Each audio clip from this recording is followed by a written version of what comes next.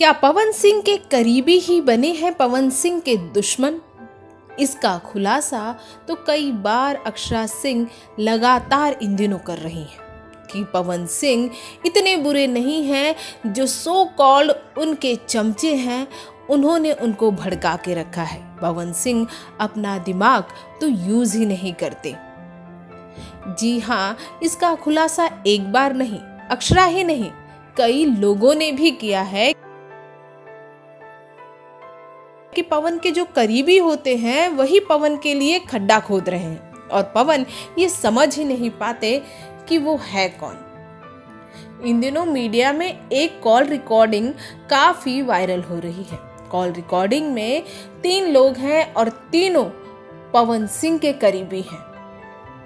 और इन तीनों ने पवन सिंह के इस हालात पर इतनी ज़्यादा चुटकियाँ ली हैं, जिसे सुनने के बाद हैरानी होती है कि पवन सिंह ऐसे लोगों के बीच कैसे रह सकते हैं, जो कि उनके बर्बादी का जश्न मना रहे हैं। जी हाँ बनते तो ऐसे लोग पवन सिंह के हिमायती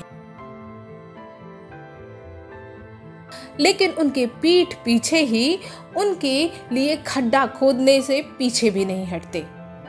उनकी तबाही पर आज वो हंस रहे हैं। वो नहीं चाहते कि पवन सिंह और अक्षरा सिंह का मसला हल भी हो। पवन सिंह को जानने वाला हर एक बंदा कहीं ना कहीं पवन की तारीफ़ ही करता है और एक शब्द उनके लिए सभी कहते हैं कि पवन सिंह भोले हैं। वो जल्दी ही सब पे यकीन कर लेते हैं। सभी पे विश्वास कर लेते हैं, मदद भी वो ऐसे ही करते हैं। लेकिन क्या आपको लगता है कि भोजपुरी इंडस्ट्री में जितने ये कहते हैं कि श्रोतागण उनके भगवान हैं, वो रियलिटी में ऐसा मानते हैं कि श्रोतागण उनके भगवान हैं? पवन सिंह बड़े ही ज़मीन से उठे हुए इंसान हैं।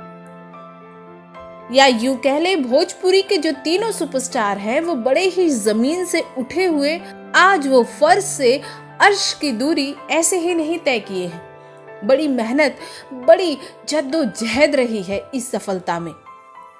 लेकिन आज अपने पीछे एक चमचों की बहुत बड़ी फौज खड़ी करके अपने आप को बड़ा नहीं कहा जा सकता।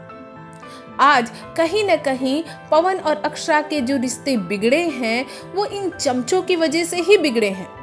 अक्षरा ने सीधे सीधे अपने हर एक इंटरव्यू में पूरी तरह से पवन को तोहमत नहीं लगाई है। उन्होंने पहले शुरुआत ही अपने इंटरव्यू से ऐसे की कि इनके सो कॉल्ड चमचों ने, जिन्हें ये पसंद नहीं है कि अक्षरा सिंह आगे बढ़ रही हैं।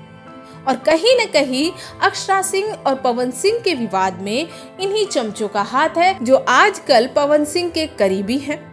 जो पवन सिंह के रुतबे, शोहरत, दौलत का नाजायज फ़ायदा उठा रहे हैं और पवन सिंह को कई भ्रमों में रखे हुए हैं। ज़रूरत है पवन सिंह को आँखें खोलने की और ऐसे लोगों को अपने इर्द गिर्द रखने की, जो उनके अच्छे और बुरे दोनों को समझा सके। वो कहते हैं ना, निंदक नियरे राखिए, आँगन कुटी छवाए, ठीक उसी तरह। वैसे पवन दूध पीते बच्चे तो हैं नहीं, कि उन्हें कुछ समझ में नहीं आ रहा है। हाँ कहीं ना कहीं फॉल्ट तो पवन सिंह की होगी ही।